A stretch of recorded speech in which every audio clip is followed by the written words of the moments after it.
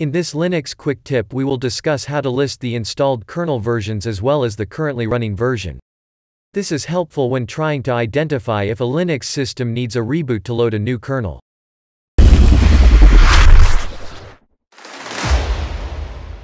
Don't forget to subscribe and hit the bell icon to be notified of new videos.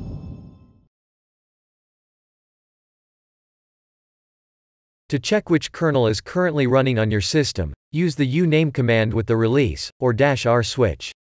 This will output the currently running kernel version number. This is an example output from an Ubuntu machine. And here is example output from a Fedora machine.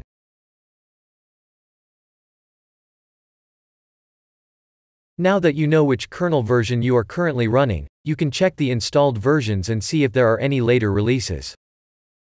For Debian-based systems like Ubuntu, Mint, etc. you can use the dpkg utility with grep to filter the results and only show the kernel.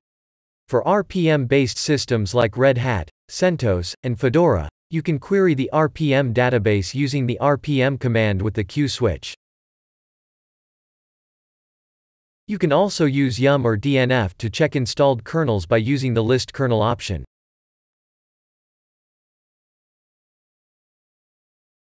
That's it for this Linux quick tip.